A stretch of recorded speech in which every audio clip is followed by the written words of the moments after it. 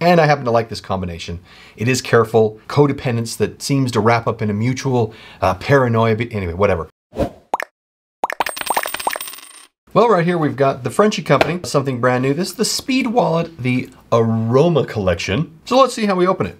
Uh, they all come in this uh, interesting packaging. This is a different color than we're used to. Usually it's black, comes with a slip, and it opens up in this kind of revealing way. I kind of really like it. As you open it up, then this just pops up and you get a whole feel for you know, what you've got here. I think it's kind of cool. Uh, it is unique packaging for sure, and this is what we have. Let's take this out. There are magnets involved in this. I know a lot of you go, oh, boo, but um, they've never really been a problem here. So we will take a look really closely at the stitching. Let's just take a quick look. It's machine stitched. Oops, we just saw what really makes this one unique.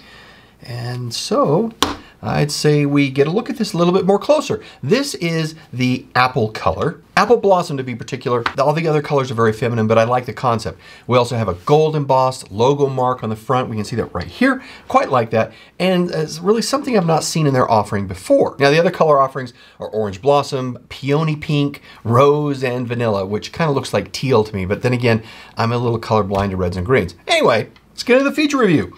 So in the feature review, we have the star of the show, and it's not here, it's right here. This. This is an external pocket. We like this external pocket. It's called the Essentials because, well, I don't know, you can put essentials in there, whatever you want to call it. They give an example of a little coin, which is great.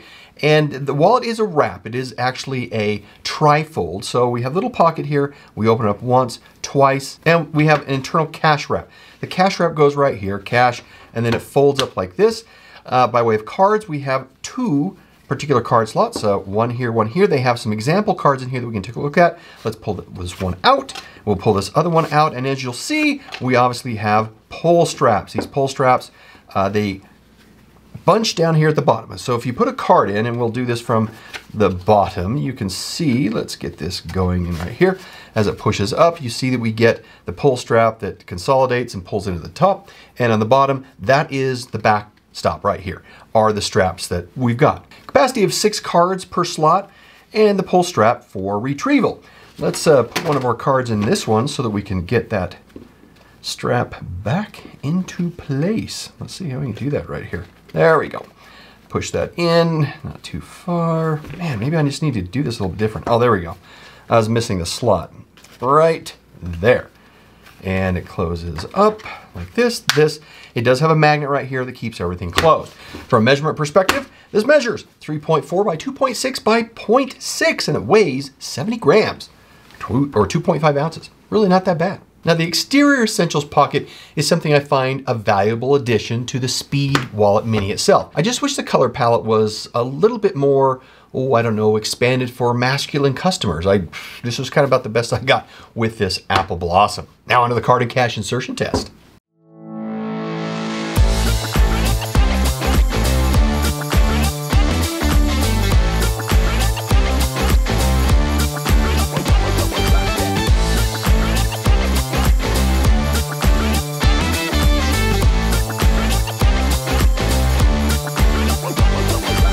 Saw, I got eight cards in there. I put in the essential slot a key and eight cards and five slips of cash. I think I said cards already. But anyway, you can see how it wraps right here. And, and I really do like this. And the point is, is that you don't have to completely unwrap it to get cash. You can actually find the note you want, pull it out. It doesn't disrupt the other cash that's there. And I like the magnet. It does keep it closed. And no, we've not heard of any uh, any uh, oh, demagnetization of cards that have gone on from the use of Frenchie wallets. Now we have the two slots uh, that are here and I put four cards in each of those. If we want to get access to those, you just pull that up. You have your cards and I guess you could you know point them either way.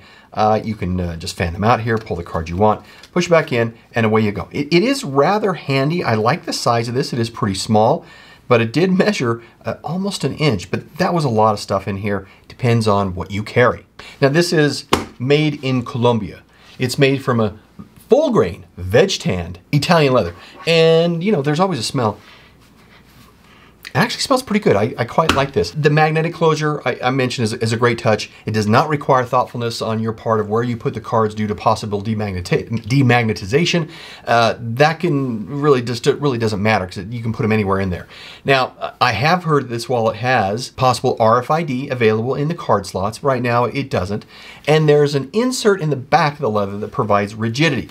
So if we if we take this apart, you can see that this does not have this has a, a, lot of give, but not up front. That's where we have the magnet. Let's let's take this out and let's take the cards just so we can uh, make this a full look here. There is some rigidity that we have right here and also in the back. And you can see that it has this leather that presses around the area. So there is rigidity here and rigidity on this outside because this is the metal that the magnet actually attaches to. And so that's how you know where we're at. And there's also a five year warranty on this particular wallet.